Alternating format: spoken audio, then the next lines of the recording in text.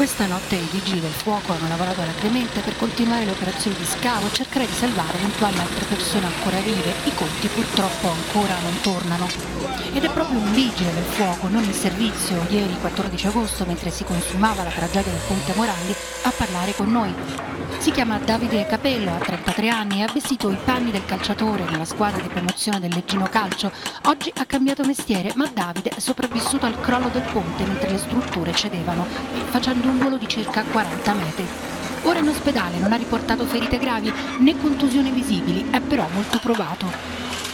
Si è accorto subito di quello che stava succedendo, ci può raccontare? Io, io, stavo procedendo sul ponte quando pioveva, a un certo punto ho sentito un rumore fortissimo, poi davanti a me ho visto le macchine che andavano giù, mi sono sentito trascinare giù io col ponte, ho poi fatto fosse finita, poi a un certo punto la mia macchina so come si è, si è fermata all'interno di un pilone, mi ha sorretto qualcosa, sono riuscito a, a uscire dalla macchina è stata una cosa indescrivibile. Intorno a lei ha visto mentre cadeva altri, altre macchine cadere? Ho visto davanti a me le macchine che cadevano nel vuoto, sembrava la scena di, di un film apocalittico.